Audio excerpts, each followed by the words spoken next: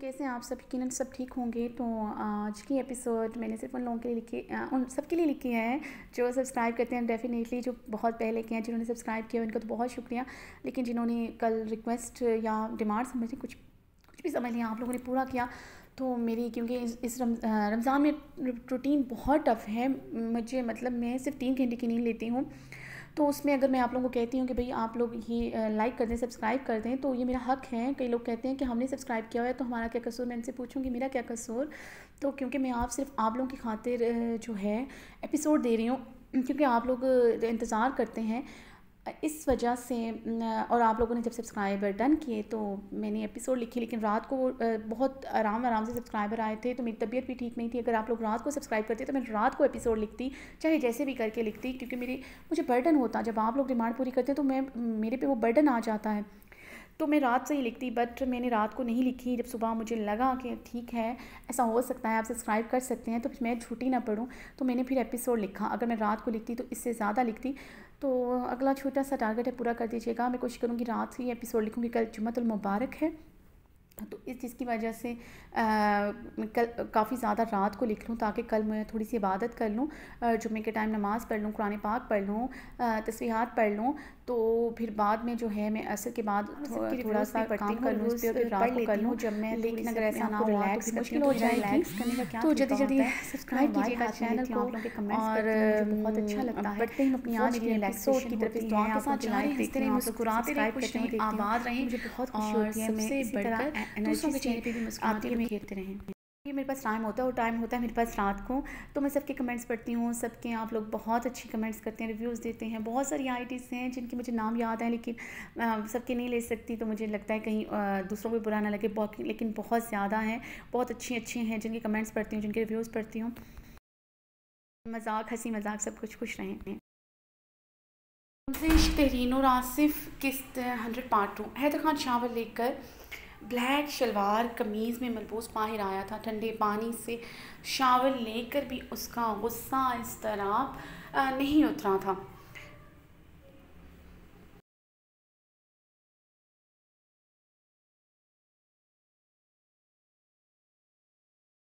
उसका गुस्सा इस तरह कम नहीं हुआ था, बल्कि पहले से ज़्यादा इजाफा हुआ था। ये गुस्सा इस तरह तक, तब तक ख़त्म नहीं होना था, जब तक वो अपने बीवी बच्चों को अपने पास ना ले आता। जिसके लिए वो एक लम्हा की ताख़ीर और नहीं कर सकता था। उसे अभी इसे लम्हे अब अपनी खानम, अपने दुराब, ज़राब, हर हाल में अपनी हवेली, अपने कमरे में चाहिए थी। मज़ीद ताख़ीर नहीं कर सकता था। अपने दराब, ज़राब को बाहों में लेने के लिए तड़प रहा था और अपनी खानम को देखते हैदर ख़ान की अंग अंग में उसकी तलब, उसकी प्यास जगी थी। वो रेड दुल्हन के लबास में सजी समरी हैदर ख़ान को पागल कर चुकी थी नज़रों के सामने एक बार फिर।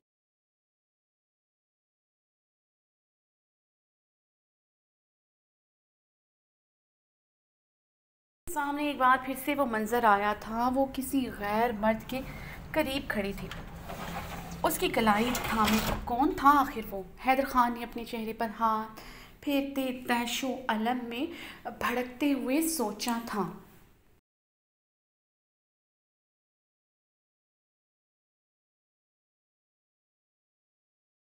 एक बार मेरे पास आ जाओ खानक ताक क्यामत तुम्हारे चेहरे पर किसी गैर मर्द की नज़र नहीं पड़ेगी। ये वादा है हैदर हाकिम।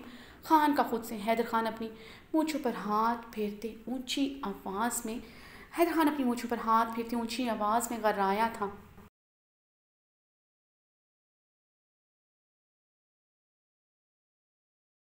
से ब्लैक शॉल निकालते अपने कंधों पर डाली। वो एक नज़र कमरे की बिखरी हालत को देखते कमरे से बाहर निकल आया।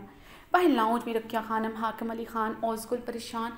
चेहरों के साथ बैठे थे। वो दरवाज़ा खटखटा कर थक चुके थे, मगर हैदर खान ने दरवाज़ा नहीं खोला था।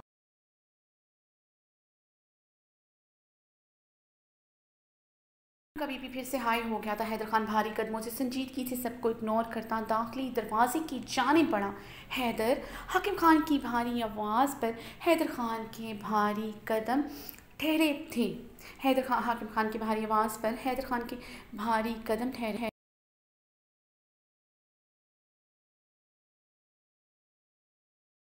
बाबा हैदर खान ने पलटते हुए संजीदगी से पूछा, कहाँ जा रहे हो और ऐसा क्या हो गया? जो तुम आज सलाम करना भूल गए। तुम्हारे मोरे का तबीयत ख़राब है। तुमने पूछना भी गवारा नहीं किया। हाकिम खान ने इस्तफामिया लहजे में, मगर नर्म लहजे में पूछा था।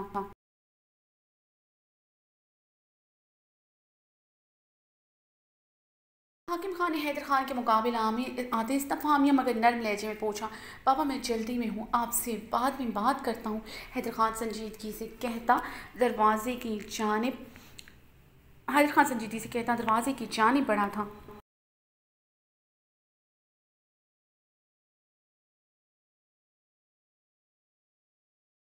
हैदर खान रुकिया खानम की गरजदार आवाज़ पर हैदर के खान के कदम फिर से ठहरे थे। एक रुकिया खानम ही थी जो हैदर खान से सी लबो लहजे में बात कर सकती थी, वरना हाकिम खान तक हैदर खान से डर डरते थे। हैदर खान गुस्से का इंतहाई तेज़ था, मगर उसने कभी अपना गुस्सा रुकिया खानम के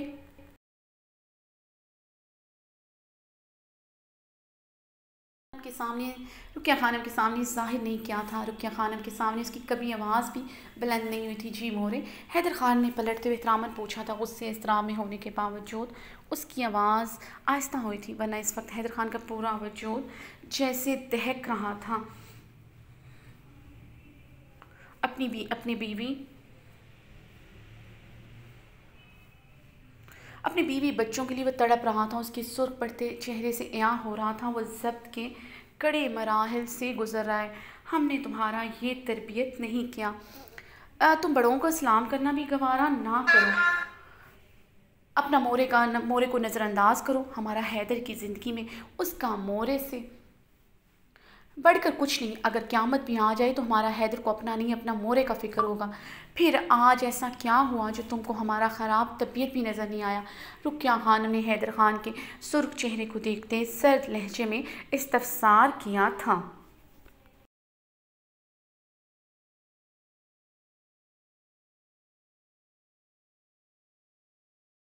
की बेतनाई वो बर्दाश्त नहीं कर सकती थी। हैदर हैदर ख़ान के मामले में थोड़ी खुद खुद गर्ज थी। हैदर ख़ान की ज़िंदगी में हमेशा सबसे अहम रहना चाहती थी।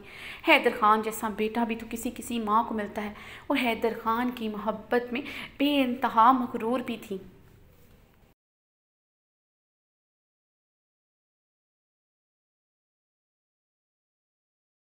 क़्यामत आ जाती तो अच्छा होता मोरे, क्योंकि आज जो कुछ हुआ मेरे लिए क़्यामत से कम नहीं, समझ नहीं आता। हैदर हाकिम खान, जो अपने इलाके का सरदार है बड़े बड़े होटलों का मालिक है, वो इस बात पर खुशी मनाए या फिर हाँ गम मनाए? हैदर खान टूटे कांच से लहजे में बोला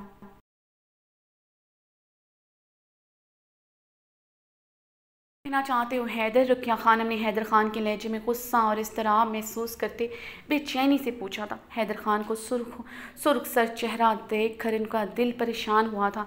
हैदर खान की आँखों में सुर्खी के साथ नमी भी, भी थी। रुकिया रकिया खानम के दिल की धड़कनें तेज़ हुई थी। हैदर खान जो चट्टानों की तरह मज़बूत था उसकी आँख में अगर आँसू आ सकता था तो उस वजह सिर्फ़ उनकी ज़ात हो सकती थी। वरना इन आँखों में आँसू आना नामुमकिन था।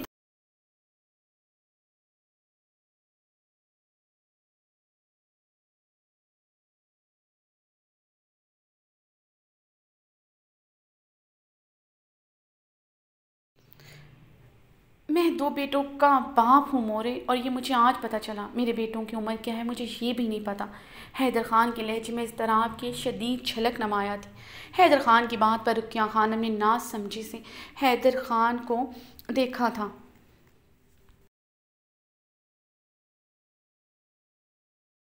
हाकिम खान उजल बड़ी निगाहों से हैदर खान को देखती उसकी तरफ़ बढ़े थी और उसको जो इतमान से सोफे पर बैठी फैमिली इमोशनल ड्रामा देख रही थी। एकदम करंट खा कर सोफे से उठी थी। ये क्या कह रहे हैं तुम, हैदर खान? हम इस तरह का मज़ाक बर्दाश्त नहीं कर सकता। तुम अच्छी तरह जानता है।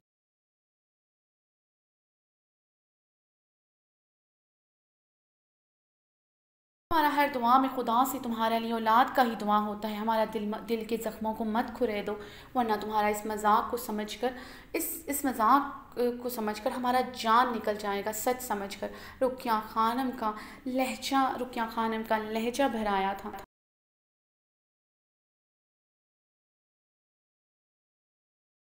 मोरे में मज़ाक नहीं कर रहा, मैं दो बेटों का बाप हूँ तराब हैदर खान और ज़राब हैदर खान। मगर हैदर खान अपने बेटों के दुनिया में आने से ही अनजान था। वो दुनिया में कब आए, मुझे इससे बेखबर रखा गया। अगर मुझे आज भी पता ना चलता तो शायद मुझे इससे बेखबर ही रखा चाहता था।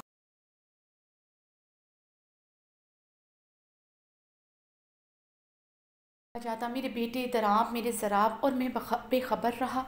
हैदर खान लफ्ज़ जमाते तैशुअलम ने अपने एक हाथ का मुक्का बनाया, अपनी दूसरी चौड़ी हथेली पर ज़ोर से ज़ोर से दे मारा था।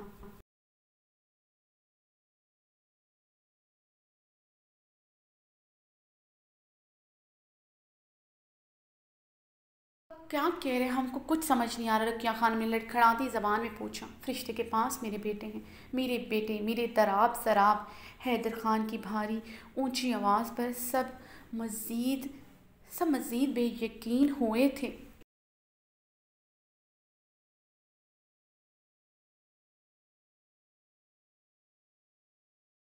का वजूद सिलसिलों की इज़्ज़त में आया था, रंगन पल में जर्द हुई थी। ये क्या कह रहे हैं, हैदर? ये कैसे हो सकता है? वो तो बाँझ था।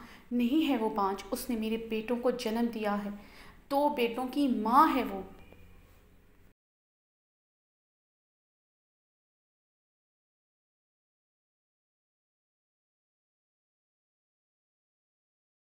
खानम की बात काटते हलक के बल चीखा था। ये पहली मरतबा था कि उसकी आवाज़ रुकिया खानम के सामने यूँ बुलंद हुई थी। रुकिया खानम के कदम लड़खड़ाए थे। हाकिम हाकिम खान ने आगे बढ़कर उन्हें सहारा दिया था, वरना वो ज़रूर गिर जाती।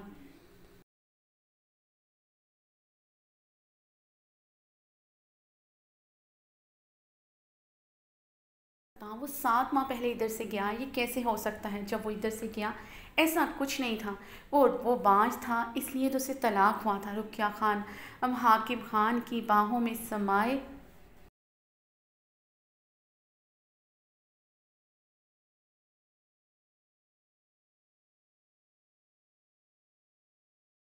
रही थी, उनके हैदर के दो बेटे थे, उनके वारिस इस दुनिया में थे, उन्हें यकीन नहीं आ रहा था। फरिश्ते की तलाक वाली बात पर हैदर खान ने अपनी मुठियाँ भींची। वो इसके लिए लफ्ज़ वो इसके लिए लफ्ज़ पाँच सुन सकता था।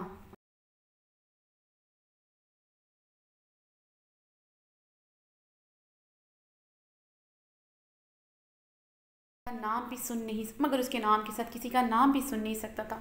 उसकी फरिश्ते तो सिर्फ़ उसकी थी, बहुत पाक, बहुत मासूम शर्म हया का पेकर, सिर्फ़ हैदर खान की मिल्कियत।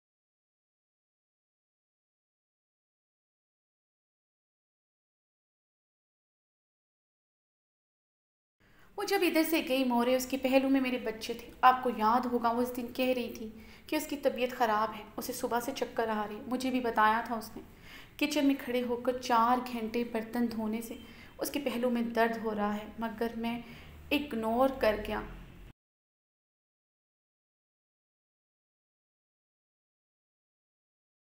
उसे ही डांट दिया। हैदर खान इस तरह भी लहजे में बोलते अपने बाल दबोच गया था। आँखों की सुर्खी और नमी ने शिद्दत इख्तियार की थी। कहाँ है हमारा पोता? था तुमने उन्हें गले से लगाया, उन्हें छुआ। वो कैसा है? रुकिया, खानम शिद्दत से रो दी थी।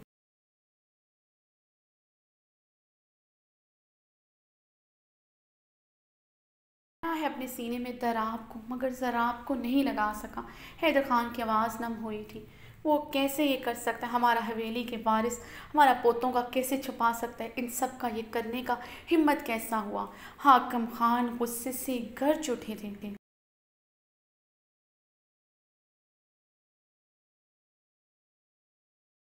इसी बात का हिसाब लेने जा रहा अपनी खानम से समीउल्ला खान और उसके पोते अरहाम खान सादा से। इनकी हिम्मत कैसे हुई? मेरे बेटों से मुझे लाइलम रखने की।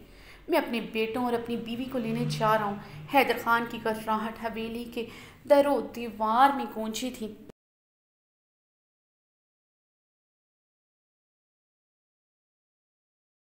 सकता है। फरिश्ते कैसे इधर आ सकता है खाला? तुमने तो कहा था तुम्हारा होता हो फरिश्ते, अब कभी हवेली में दाखिल नहीं होगा।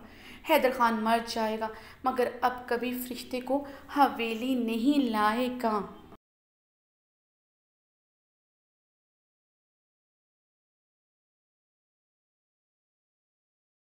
ओसगुल ने आगे बढ़ते चीखते कहा, फरिश्ते हवेली आ रही, वो गमों गुस्से से पागल हुई थी।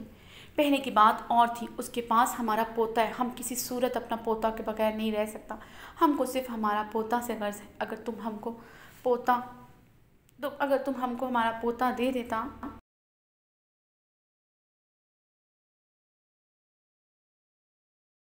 रखिया खानम सफाकी से बोली, पहले की बात कैसे और था खाला?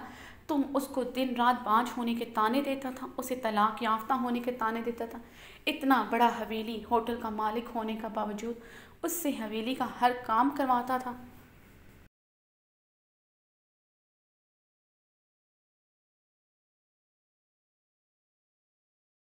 नहीं था उसका तुम्हारा नज़दीक। अब वो माँ बन गया और वो तुम्हारा प्यारा हो गया। तुम्हारा तानों की वजह से, तुम्हारा गरूर की वजह से खुदा ने हमको सज़ा दिया। तो सज़ा हम क्यों अकेला भुगते? तुम भी भुगतेगा। हम ऐसा कभी नहीं होने देगा। वो इधर कभी नहीं आएगा।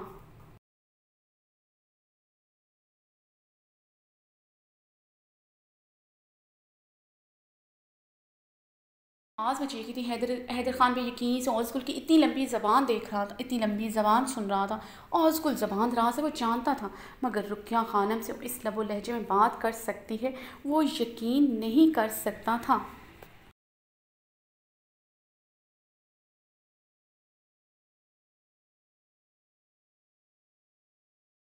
से से औसगुल की तरफ़ बढ़ा था। औसगुल डरते हुए पीछे हुई थी। हाकिम खान ने उसे शानो हाकिम खान ने हैदर खान को शानों से थाम कर पीछे किया। क्या कर रहे तुम? अपना बीवी पर हाथ उठाएगा? हाकिम खान गुस्से से चीखे थे।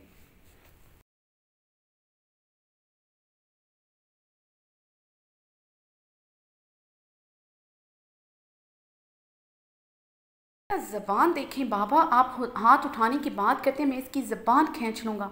हैदर खान गुस्से से चीखा ओजगुल ऊँचा ऊँचा रोना शुरू हो चुकी थी। उसकी चीखी हवेली के लाउंज में बुरी तरह गूंज रही थी।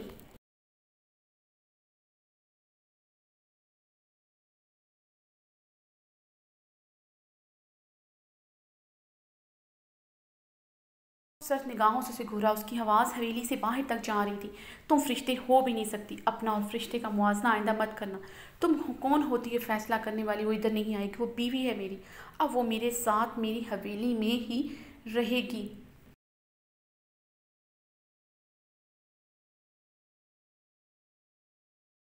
किसी सूरत उसे खुद से जुदा नहीं करूँगा। हैदर खान उसकी यूँ वावेला में जाने पर गुस्से से गजते हुए बोला लेकिन हैदर, हम भी तुम्हारा बीवी है। हैदर की गरजने पर ओसगुल ने डबडबाए, लहजे में एहतजाज किया था।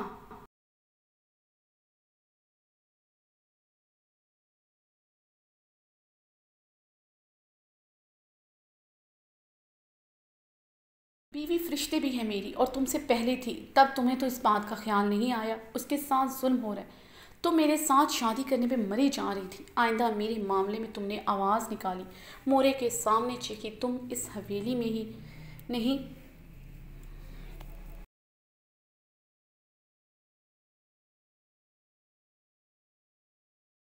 मेरी ज़िंदगी में भी नहीं रहोगी। इसी लम्हे तुम्हें अपनी ज़िंदगी से निकाल बाहर फेंकूँगा। हैदर खान के सर पर फीले लहजे पर रोज़गुल खामोश हुई थी। फरिश्ते और अपने बच्चों को लेने जा रहा हूँ मैं। हैदर खान कहते दाखिली दरवाजे की तरफ़ बढ़ा था।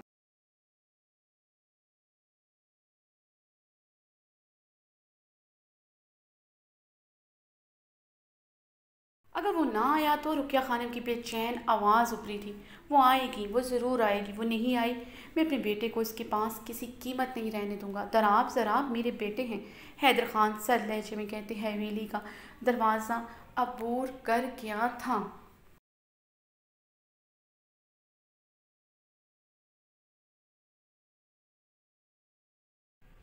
ज़रान, इस मूवी में ऐसी क्या बात है जो पिछले एक घंटे से तुम्हें इसके अलावा कुछ भी नज़र नहीं आ रहा? अपरिश ने गुस्से से झंझलाते हुए ब्रश ड्रेसिंग टेबल पर दे मारा था, ज़रान एलईडी पर एक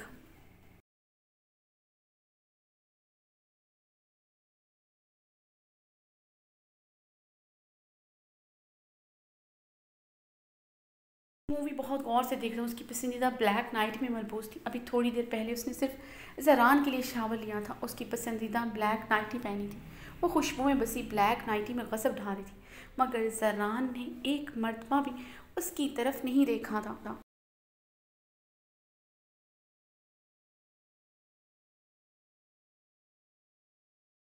तुम्हें किसने कहा मैं मूवी देख रहा हूँ? और इस मूवी में क्या कोई ख़ास बात नहीं ये मूवी तो बुरी तरह फ्लॉप हो चुकी बहुत वीक स्क्रिप्टेड है इस मूवी का। और पिक्चराइजिंग भी बहुत घटिया है। जरान एल पर नज़रें गाड़े ही बोले था गाड़े ही बोला था।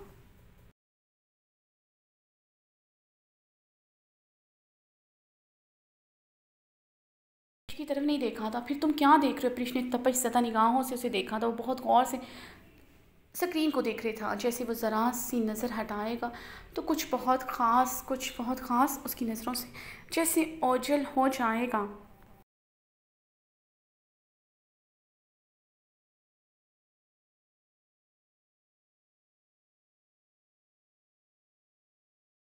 बहुत ख़ास उसकी नज़रों से दूर हो जाएगा। वो बहुत गहरी निगाहों से स्क्रीन को देख रहा था।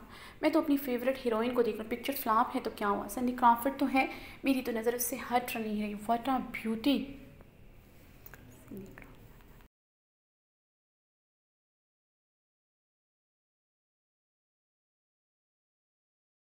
सरान स्क्रीन पर नज़रें गाड़े भारी आवाज़ में बोला, सरान के लबों से किसी और औरत की तारीफ़ सुनते, अब उसके दिल में जलन की लहरें उठी थी। जरान के लबों से दूसरी औरत की तारीफ़ बर्दाश्त नहीं हुई थी।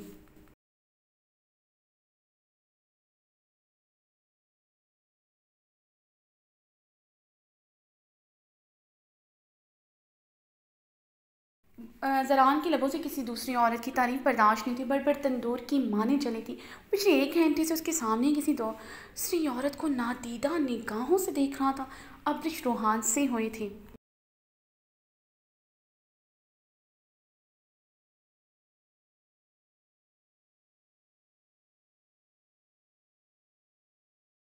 देते लब काटते ड्रेसिंग मिरर में देखते सिलकती निगाहों से जरान को देखा, जो अभी भी स्क्रीन को ही देख रहा था। वो मज़ीद बर्दाश्त नहीं कर सकती थी। कुछ देर और स्क्रीन को देखता और यकीन मिस्टर खानसादा की आँखें निकाल देती। अब ब्रिश गहरे सांस लेते थे।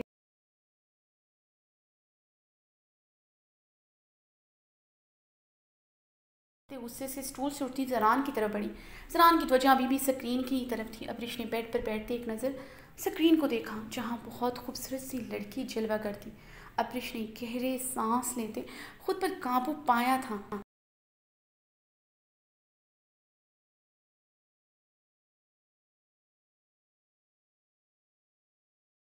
वरना जी कर रहा था साइड टेबल पर पड़ा, लैंप उठाकर मिस्टर खानसादा के सर पर दे मारे। अब्रिश कुछ पल सिलकती निगाहों से जरान को देखती रही, फिर जरान के करीब होती उसके सीने पर सर रखकर लेटी थी।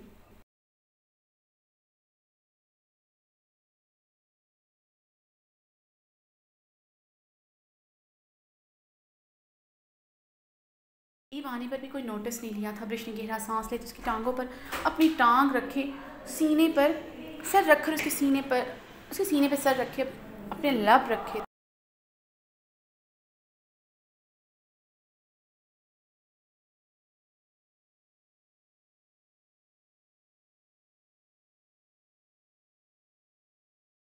जरान अभी भी, जरान अभी भी सामने लगी स्क्रीन पर मतवजा था। उसके इतने करीब आने पर जैसे कोई फ़र्क ही नहीं पड़ा था, ये पहली मरतबा उसके इतने करीब आने पर जरान को कोई फ़र्क ही नहीं पड़ा था।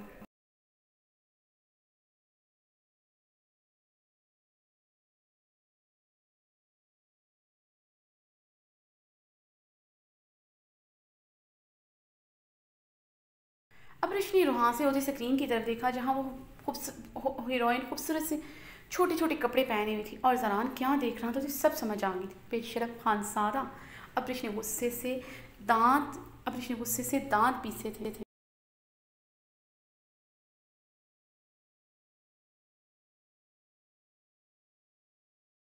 को देखते अपना गाउन रिमूव करते गुस्से से ज़मीन पर फेंका। उस वो अब स्लीवलेस बेहद शॉर्ट नाइट में मलबूस थी जो बारीक नेट पर मुश्तमिल थी। वो अपना तमाम वज़न मुंतकिल करते जर्रान के सीने पर आई थी।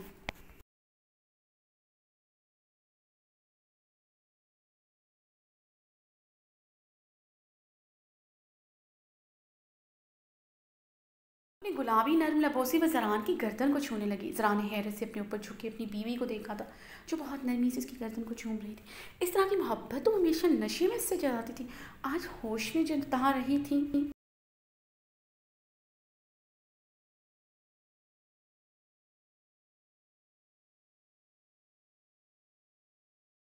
ये खुमार आलूद हुई थी। ज़रान का हाथ उसकी कमर पर सर सरसराया था। नाइटी बैकलेस थी और घुटनों से भी काफ़ी ऊपर थी। ज़रान उसकी बरहना कमर पर हाथ फेरते, उसकी नाज की महसूस करते, उसे सख्ती से अपने सीने में भींच गया था।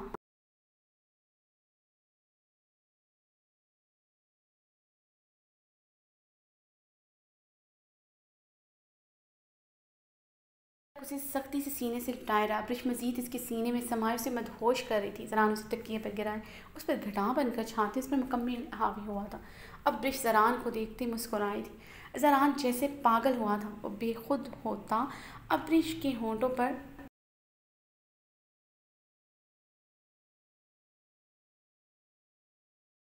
लबों पर छू बेखुद होता, उसके लबों पर झुकने लगा था कि अब्रिश ने उसे पूरी कुआँ से धक्का दिया। जरान पूरी तरह मदहोश था। अब्रिश की पूरी कुआँ से धक्का देने पर वो बुरी तरह लड़खड़ाते पूरी तरह लड़खड़ाते तकिए पर गिरा। अब्रिश जरान को शोला बनी आँखों से घूरते बेड से उठी थी। जरान ने हैरानगी से, जरान ने हैरानगी से उसकी सुर, सर्द निगाहों से अब्रिश को देखा, जो ज़मीन पर पड़ा अपना गाउन उठाकर पहन रही थी। से सुर्ख हो रहा था जरा जरानी गहरे सांस लेते उलझर बनी निगाहों से अब्रिश को देखा था। अभी थोड़ी देर पहले उसके करीब खुद आई थी और मुस्कुरा भी रही थी। जरा ने लब भींचे अपनी बीवी को देखा।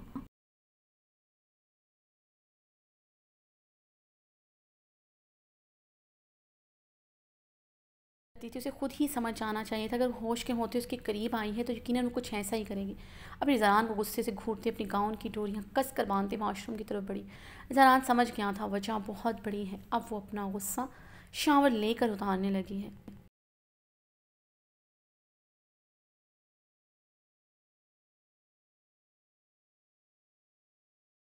सिंडी क्रॉफर्ड को देखा था, उसे सब समझ आ गया था और ये भी आखिरी, वो आखिरी मरतबा ही उस एक्ट्रेस को आखिरी मरतबा ही देख रहा है। जहाँ जल्दी से बेड से उतरते अब्रीफ की तरफ़ बढ़ा, उसे बाजों से जकड़ते अपनी बाहों में भर गया था।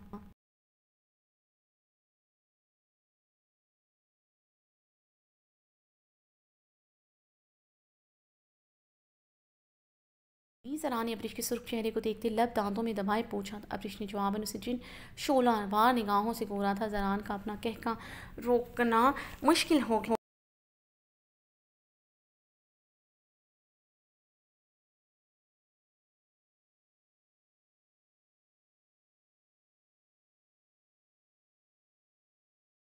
निगाहें निगाहें देखकर समझ गया था। उसे अच्छी खासी आग लगी है। अब उसका बदला उसके बदन में आग दहका कर लेना चाहती थी जिसे अबरिश की ज़रा से करीब आने पर वो आग की भट्टी की मानद गर्म हो गया था। अब उसे पाने के लिए वो पागल हो रहा था,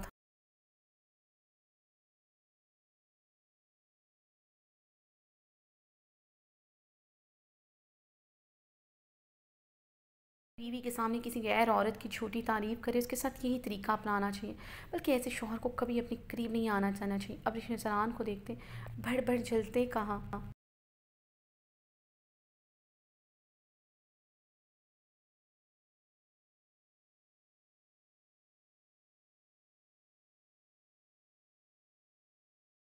जरान का बुलंदो बांग कहका बुलंद हुआ था। जरान के कह के परवरिश ने उसे गुस्से से खुद से दूर धकेला, वो उसे मजबूती से बाहों में भरता अपने करीब कर क्या था।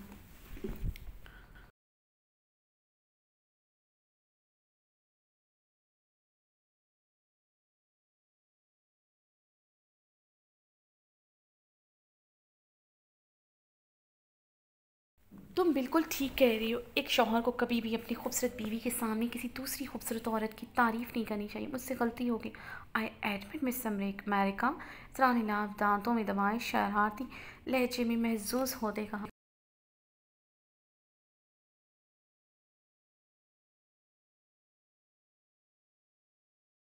की आँखों में मज़ीद शोले दहके थे। तुम्हें किसने कहा कि वो खूबसूरत है? बिल्कुल भी खूबसूरत नहीं है। छोटे छोटे कपड़े पहनने से कोई खूबसूरत नहीं हो जाता। अभी गुस्से से बर बर झलते बोली थी।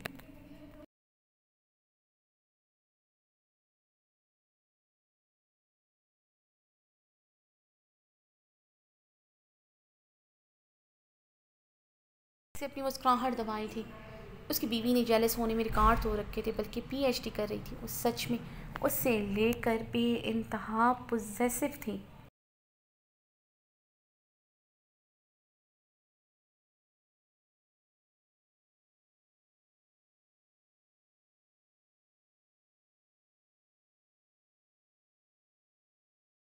मैं कौन सा उसके चेहरे को देख रहा था? जरान की बात पर अब्रिश का रंग तांबी की माने मिस्टर खान ज़्यादा।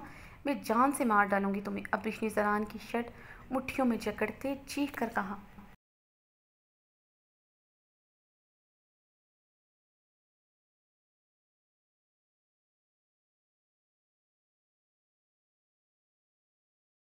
मार चुकी अदाएँ ये जलवे दिखाकर जरान की कमर में हाथ डाल के इसके लबों को अपने लबों में प्रवस कर किया था। अब रिश ने गुस्से से जरान के सीने पर मुक्के मारे थे।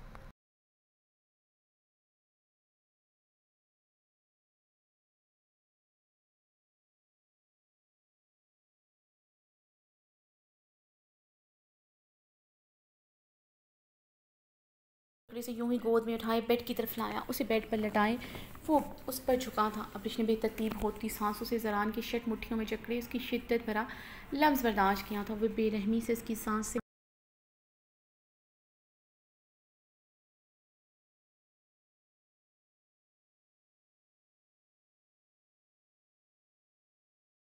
इसकी सांसों की खुशबू को कैद किए हुए था क्या पसंद है इसमें तुम्हें मिस्टर खान सादा जरान की आज़ादी देने पर अब्रिश ने बेतरतीब होती सांसों से भीगे लहजे में पूछा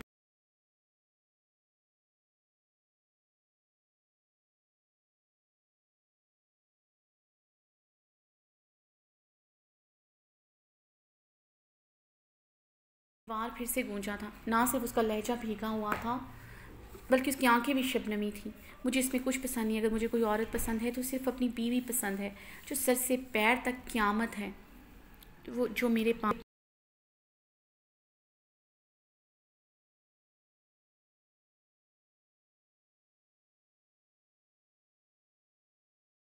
ही मेरी धड़कनों की रफ्तार बढ़ा दी सुनो, अपने खानजादा का दिल की धड़ खानजादा के दिल की धड़कने। तुम्हारे करीब आने पर कैसे धड़क रही हैं? ज़रा ने अब्रिश का हाथ थामते अपनी धड़कनों पर रखा था। अब्रिश ने मुस्कुराते हुए ज़रान की आँखों में देखा, उसकी धड़कनें सच में बहुत तेज़ी से धड़क रही थी।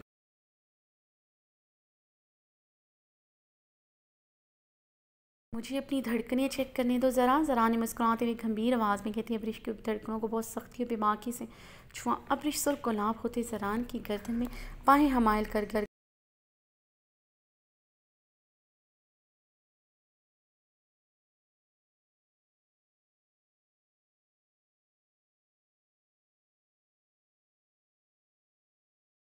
नाजुक वजूद को अपने सीने पर मुंतकिल करते, उसकी नाइटी का गाउन रिमूव करना चाहा अभी कुछ देर पहले अपने जलवे कर उसके बदन में आग लगा चुकी जरान अब रिश ने हाथ अपनी डोरियों से पीछे करते।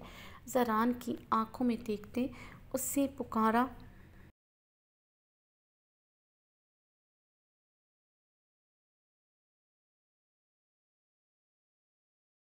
पानी अपनी नशीनी मखमूर, निगाहें वृक्ष की गुलाबी आँखों में गाड़े का हाथ फिर से उसकी गाउन की डोरियों में उलझा था। वादा करो तुम आज के बाद इस हीरोइन को नहीं देखोगे। अब रिश्ते तेज़ होती सांसों से जरान के आरिस पर हाथ जमाए वादा लिया था। मैं वादा करता हूँ आज के बाद अपनी बीवी के अलावा किसी की तरफ़ नज़र उठा कर नहीं देखूँगा। जरा ने गंभीर आवाज़ में कहते, उसके गाउन की डोरी, उसकी गाउन की डोरी रिमूव की थी।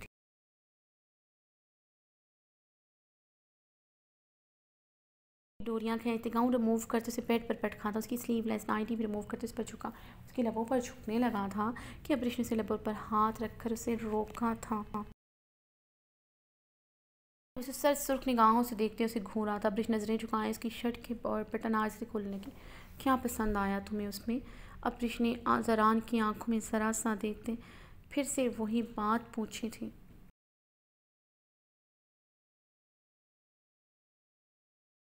वो मुझे बिल्कुल पसंद नहीं। ज़रा उसी गर्दन पर झुके शिद्दत से किस करने लगा। फिर तुम इसे इतने गौर से क्यों देख रही थी? मुझे भी एक गौर कर दिया। अब ब्रिश ने शिकवा किनार लहजे में पूछा था।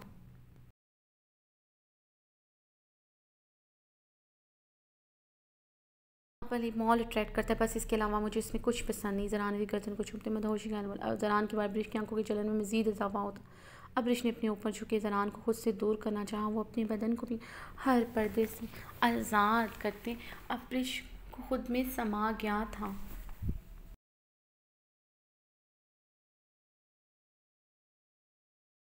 वजूद को भी हर पर्दे से आज़ाद करते हैं, उसकी कलाइयाँ जकड़े उसमें समा गया था। बीवी, वादा है मेरा तुमसे, जिस लड़की के होंठों पर दिल हुआ, उसकी तरफ़ नज़र भर कर नहीं देखूँगा। अब अगर कभी देखा तो अब रिश ने भीखे लहजे में इस्तफसार किया। उस दिन समझना तुम्हारा मिस्टर खान सादा इस लड़के की जुल्फ़ों का असीर हो चुका है, जरान की बात पर अबरीश ने रोहा, उसे रोहान से रोहान से होते थोड़ा ऊपर होते जरान की गर्दन में दांत काटे थे, अपनी हरकत पर सुर्ख गुलाब होते वो आँखें मीच की थी। नाउ माई टर्न मेरी खूबसूरत बीवी, जरान इसकी धड़कनों पर नरमी से दांत करें अगर तुमने कभी किसी लड़की को नज़र उठा कर भी देखा, मैं तुमसे बात नहीं करूँगी, मैं तुम्हारी ज़िंदगी से चली जाऊँगी। अबरिश ने जरान की कमर पर हिसार मज़बूत करते उसकी शिद्दतें, सहते आस्तगी से कहा था।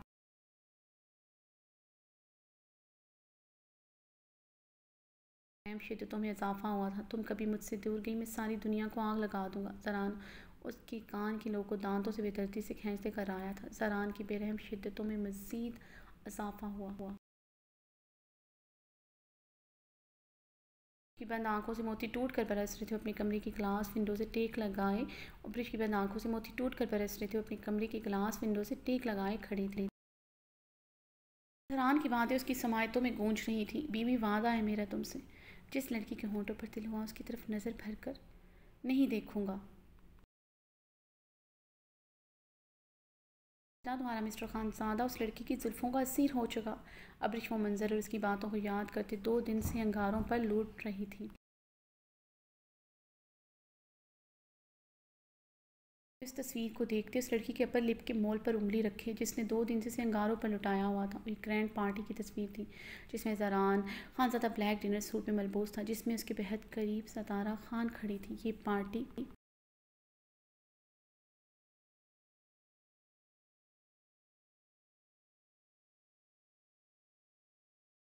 सयान ने इस्लामाबाद में अपने बंगले पर मनकद की। सतारा खान, उसकी मुखालफ पार्टी थी सोशल मीडिया पर। सतारा खान और सरान को लेकर बहुत सी खबरें आ रही थी, कहा जा रहा था। सरान खानजादा ने स्पेशली सारा सारा खान से पर्सनली तौर पर उसके दफ्तर में मुलाकात की, उसे अपनी पार्टी में आने, अब पार्टी में शिरकत करने की दावत दी थी।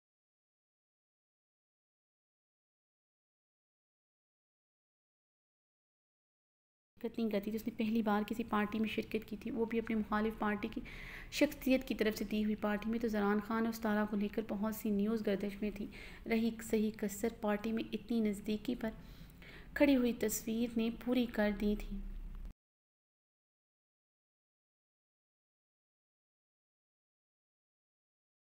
कसर सतारा खान और जरान की तस्वीर ने पूरी कर दी जब रिश ने बीकी निगाहों से इस तस्वीर को देखा, जिसमें जरान सतारा खान के कान में कुछ कह रहा था और सतारा खान भरपूर मुस्कुरा रही थी। दिल पर अब्रिश की उंगली आकर रुकी, अब्रिश की आँखों की जलन, अब्रिश ने गहरे सांस लेते मोबाइल बेड पर फेंका था। मिस्टर खानजादा तुम सफ़ार सालिम पे हिस्स और एक छोटे खानजादा हो।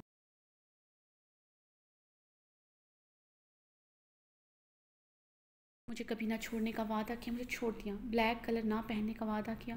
पिछले सात माह में तुमने सिर्फ़ ब्लैक कलर ही पहना है, किसी लड़की की तरफ़ नहीं देखोगे। तुम्हारे गिरद अब सिर्फ़ लड़कियाँ ही घूमती हैं। पलविशा तक तुम्हारी हवेली में रहती है। तुम तो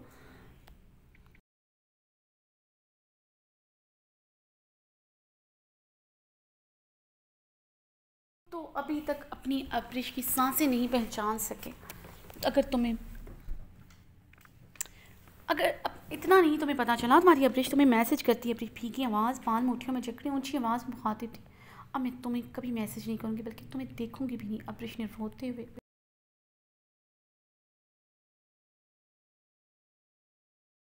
तस्वीर पर नरमी से उंगलियाँ फेरने लगी। I hate you mister Khan. ज़्यादा अब्रिश ने रोते हुए मोबाइल बेड से पकड़े, उठाया था। जरान की तस्वीर पर नरमी से उंगलियाँ फेरने लगी। I hate you mister Khan. ज़्यादा अब्रिश भीगी आँखों से उसकी तस्वीर देखते फीके लहजे में बोलते बेड पर गिरकर, फूट फूट कर रो रही थी।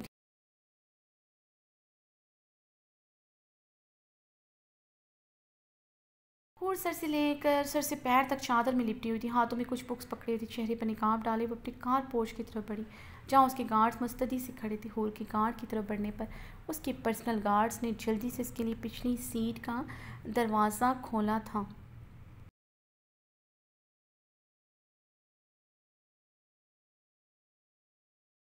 में बैठने पर बाकी गार्ड्स ने अपनी गाड़ियाँ संभाली थी। हूर की गाड़ी आगे, पीछे गार्ड्स की गाड़ियों के हमरा शाह मेंशन से बाहर आई। हूर की गाड़ी आगे, पीछे गार्ड्स की गाड़ियों के हमरा शाह मेंशन से बाहर आई थी।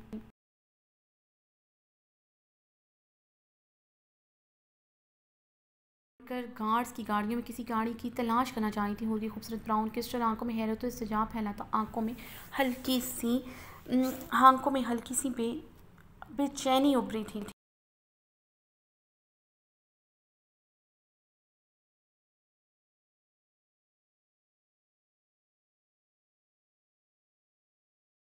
गाड़ी उसे कहीं दिखाई नहीं दी थी। एकदम उसे उन गार्ड्स की गाड़ियों के हमरा वो गाड़ी नज़र आई, जो पिछले सात माह से हर जगह पर उसके साथ होती थी। जो पिछले सात माह से हर जगह पर उसके साथ होती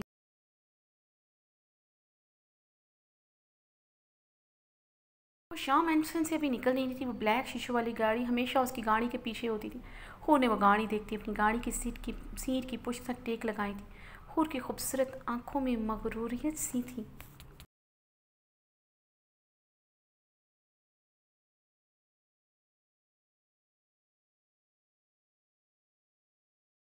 आए तो मैं गूंजी थी, अब मैं तुम्हारे करीब नहीं आऊँगा। आज के बाद तुम्हें देखकर मेरी प्यास नहीं बढ़ेगी। आज के बाद तुम्हें देखते मेरे अंदर कोई जज्बा नहीं जगेगा। आज के बाद अरहाम खान सादा के लिए उसका बिज़नेस उसकी बेटी अहमियत रखेंगे।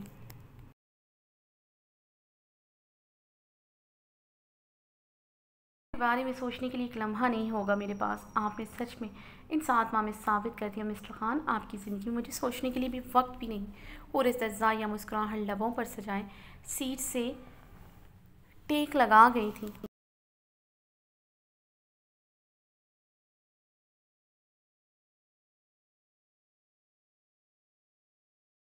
खान सिगरेट लबों में दबाएँ लैपटॉप की स्क्रीन को बेचैनी से देख रहा था, जहाँ जहाँ अंधेरा सा छाया था। असवन ने अपना लिचना लब दांतों में दबाए, अपनी रिस्ट वॉच पर नज़रें धुड़ाई इस वक्त पाकिस्तान में रात के ग्यारह बज रहे थे।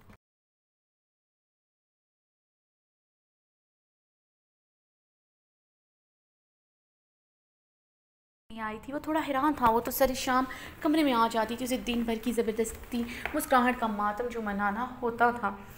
आज, मगर आज ग्यारह बजे थे, वो अभी तक कमरे में नहीं आई थी।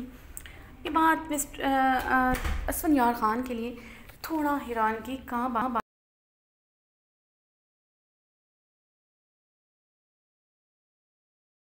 बात की गहरी कश लिए थी। अगर वो कमरे में ना आई तो उसके चलते दिल को सुकून कैसे मिलेगा? वो कब से बेचैनी की इंतहा पर था। मुस्करा रही थी, हंस रही थी, इतना तैयार थी जो असमन यार खान के दिल में आके अल्लाह रोशन किए हुए था।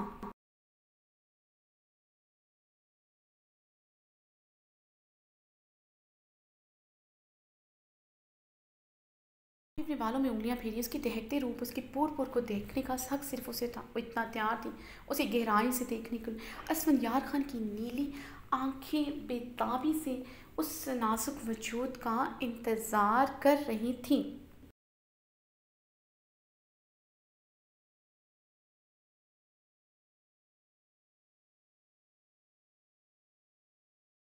एकदम स्क्रीन पर रोशनी हुई थी, वो कमरे में दाखिल हुई थी असफनियार खान के, चलते दबते दिल को राहत मिली थी। एकदम स्क्रीन पर रोशनी हुई थी, वो कमरे में दाखिल हुई थी असफनियार खान के, चलते दबते दिल को राहत मिली थी।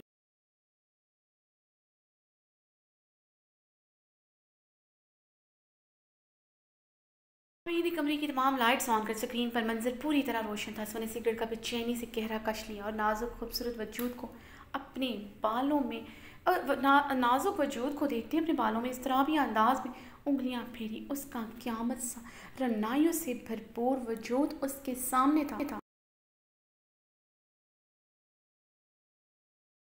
नाइयों से भरपूर वजूद उसकी नाजुक कमर उसकी खाती लहरों की मानित कमर उसके सामने थी। हर रोज़ की तरह यार खान के जुआ जिस्मों में आग लगी थी। हर रोज़ की तरह अपनी टांगे इस तरह भी अंदाज में हिलाते, इस तरह भी अंदाज में हिलाते खुद पर काबू पाए हुए था।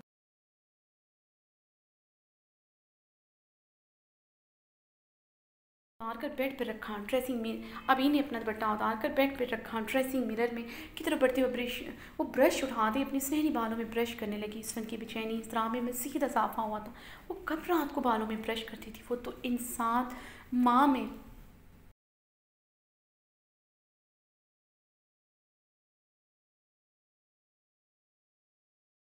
गिरती, फूट फूट कर रो, रोती थी। आज तो इसकी दिल सोज चीखें अरूज पर होनी चाहिए थी उसकी ज़िंदगी में कोई है वो दूसरी शादी कर रहा है। एक ख़बर सुनकर तो आज उसे टूट कर बिखरना चाहिए था। जानता था उसे लेकर वो कितनी पोजेसिव है।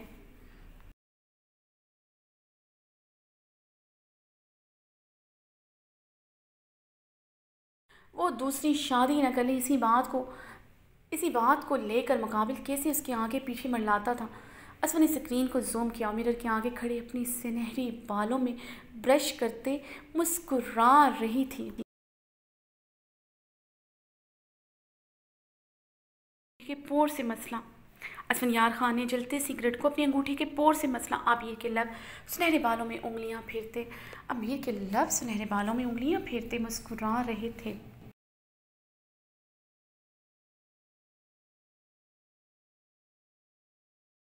अपने बाल बहुत पसंद हैं। आबिर मिरन में देखते मुस्कुराते हुए बोली असफन यार खान उसके लबों की जम्बश देखते मज़ीद बेचैन हुआ था।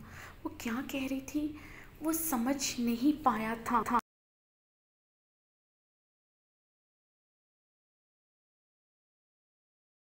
में उसने उसके कपकपाते लबों की जम्बिश में असफन यार खान का नाम होता था।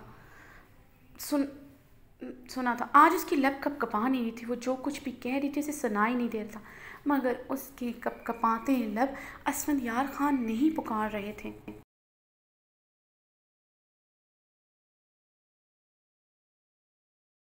असफन यार खान ने बेचैनी से अपने बालों में उंगलियाँ फेरी। इस तरह बेचैनी बढ़ती जा रही थी। इन चार दिनों में ऐसा क्या हुआ है कि मुकाबिल का हर अंदाज बदल के वो अप, वो अपने प्रोजेक्ट के सिलसिले में लॉस एंजल लॉस एंजलिस क्या हुआ था?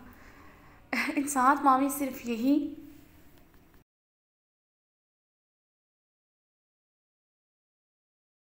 आत्मा में ये चार दिन थे जिसमें वो इस नाजुक वजूद से लापरवाह रहा था। वरना वो हर रात, हर पल उस पर नज़र रखता था। वो जब तक कमरे में होती असवन यार खुन उसे गहरी निगाहों से देखता रहता। जब वो सोच आती, तब भी, मगर वो सोती ही कहाँ थी? वो तो रात रात भर उसकी जुदाई का मातम बना, मनाती थी।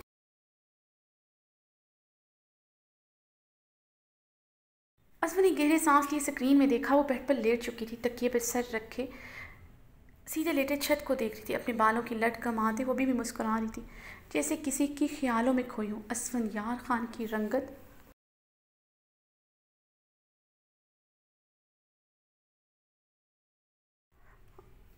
असवन यार खान की रंगत में सुर्खियाँ से घुली थी। वो किसी सोच रही थी सोच कर तो सिर्फ़ रोती थी। आबिर के होंठों की मुस्कुराहट की वजह क्या है? असवन यार खान ने सोचते हुए अपने हाथों की मुठियाँ दबोची। असवन यार खान ने सोचते हुए अपने हाथों की मुठियाँ दबोची।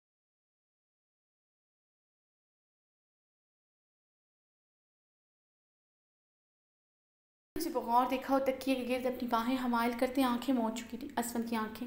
पे यकीन हुई थी, उसके बदन के इर्ताज से अंदाज़ा हो रहा था, वो गहरी नींद में चली गई। है असवन यार खान के खून में अंगारे से तोड़े थे।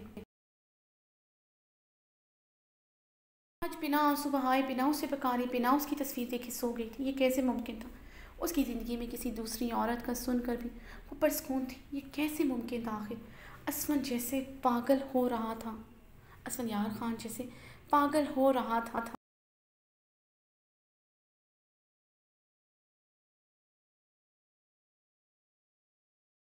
जिस दिन इन आँखों से आँसू ख़त्म हो गए जिस दिन मेरे बगैर तुम दिल से मुस्कुराई मैं समझ जाऊँगा तुम मुझे भुला चुकी हो। जिस दिन तुमने मुझे भुलाया उस दिन मैं तुम पर अपना हक ख़त्म कर दूँगा। मगर मैं जानता हूँ ऐसा ताक़्यामत तक नहीं हो सकता। तुम मुझे तुम मुझे कभी भी नहीं भुला सकते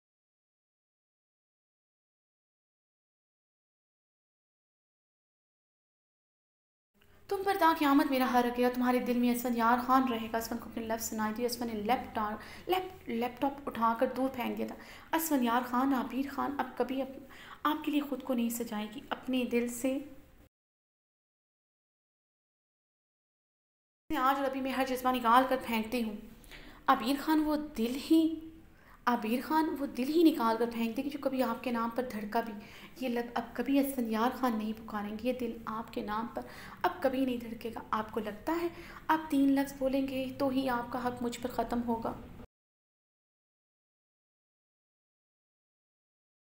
लफ्ज़ आज पहली मरतबा सनियार खान को चुभ रहे थे। तलाक दिलों की भी होती है और इसमें मर्द औरत किसी को भी इख्तियार होता है, वो तलाक दे दे। आबिर खान के दिल ने असफंयार खान को आज से तलाक दे दी आपके मुताबिक आपका हक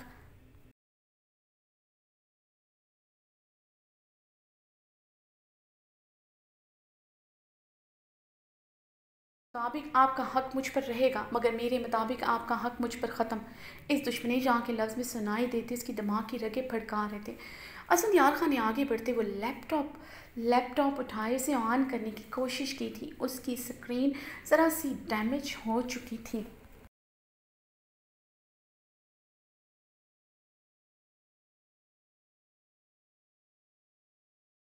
वो ऑन नहीं हो रहा था। यार खान उसे पागलों की तरह ऑन करने की कोशिश कर रहा था। तुम कभी दिल से नहीं मुस्कुरा सकती, तुम्हारी आँखों से कभी आँसू नहीं खत्म हो सकते। तुम्हारे लब कभी मुझे पुकारना बंद नहीं कर सकते।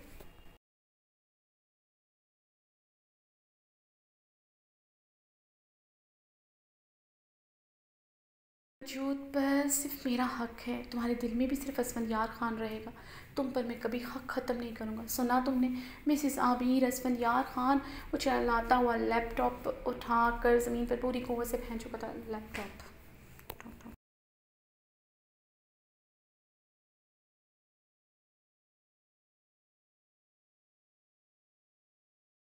चुकी थी और बेस वो बेसकूनी से जलते सिगरेट की माने से लग रहा था और ये आज की एपिसोड ख़त्म हो चुकी है जो कि थोड़ी लॉन्ग थी I think forty nine minute की। और इसमें कुछ जो वॉइस ओवर सुन रहे हैं, मैंने लैपटॉप अगर वॉइस ओवर सुन रहे हैं और साथ पढ़ भी रहे हैं तो मैंने लैपटॉप को कहीं लैब लिखा हुआ है, कहीं लैब लिखा हुआ है और टॉप नहीं लिखा। आए तो कैसे ये मिस्टेक हो गई।